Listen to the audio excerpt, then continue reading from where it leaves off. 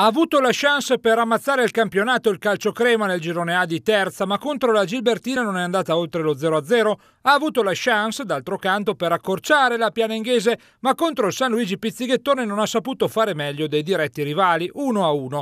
Così i sette punti sono rimasti ed è difficile pensare che la capolista, mai sconfitta sin qui e unica imbattuta in tutta la provincia, possa perdere questo margine di sicurezza, utile all'analisi di una lotta ristretta alle prime due, dato che Pizzighettone e Casale sono addirittura 8 punti dietro la seconda e dunque a meno 15 dalla prima, può essere uno sguardo al calendario. Lo scontro diretto cade il 2 aprile e si gioca a Crema, dunque un'opportunità in più a favore della prima della classe.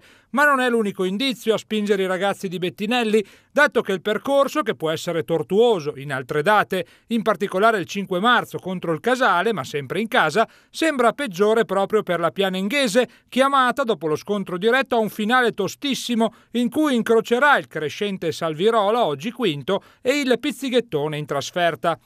In terza B invece la prospettiva è completamente diversa, quattro squadre in due punti al vertice, con la Mantovana Cavrian Ponti che vincendo il recupero salirebbe alla pari del Gussola a 36 punti, ovvero a meno uno da Corona e Paderno oggi in vetta. Intanto proprio a Ponti sul Mincio domenica il Corona ha colto un successo campale, in ogni caso mancano molte gare da recuperare appunto e se è vero che il Paderno è stato l'unico team a giocare il 5 febbraio, è anche vero che la squadra di Bomber Barborini ha già riposato.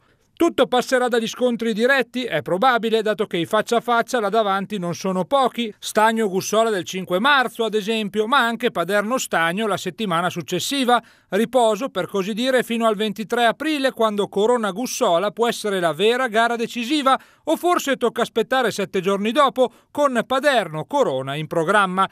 Insomma, ne vedremo delle belle, dato che anche il calendario, proponendo due scontri diretti per ciascuna delle prime quattro, non sembra voler scegliere una favorita.